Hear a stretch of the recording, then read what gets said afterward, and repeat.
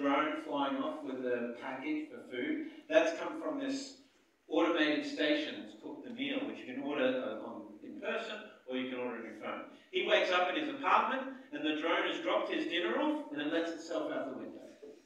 Right? Now this is a science fiction movie. But Walmart, Alibaba, Amazon, they're all working on this technology today. They're trialing drones for this type of uh, infrastructure. This is how we'll deliver goods and services in the future in the world. This is the start of this sort of smart infrastructure play that we're talking about.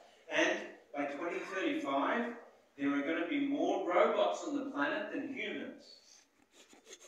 Be kind to robots. You never know what's going to happen in the future.